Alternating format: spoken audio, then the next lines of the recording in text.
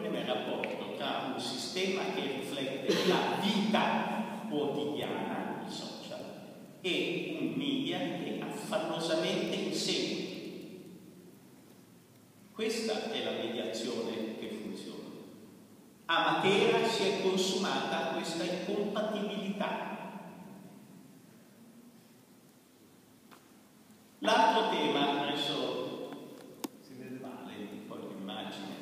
questo è il famoso pianista, il passeggero che si è messo a suonare anche a Napoli, cioè il pianoforte, se ne sono già venuto, certo. Eh, qual è il messaggio che ci viene da qui?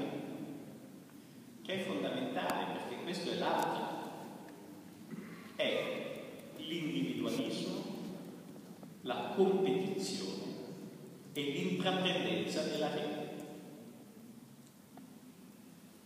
Questo è un ragazzotto che in un'attesa ad Allegria del treno per Milano, ritardo di un'ora e tre quarti, materia che qui non è rara, insomma no, mi capi, no.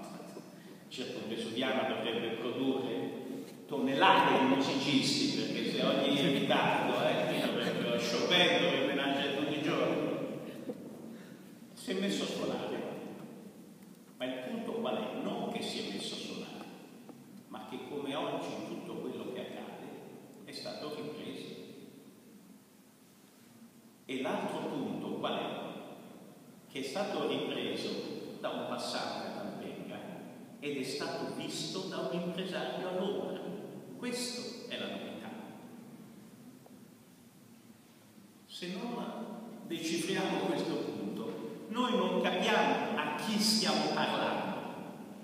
I nostri lettori sono, i nostri utenti, scusate, sono come questo pianista che ha una inconsapevole e inconscia ambizione di rivolgersi al mondo. E noi stiamo mediando con, come dice Lionel Barber, il direttore del Financial Times, con dei lettori che ormai ne sanno e ambiscono ad avere cose più di noi. È lì che rischia di chiudere la casaccia. Perché noi abbiamo speculato per un secolo e mezzo sul fatto che loro credevano che noi ne sapessimo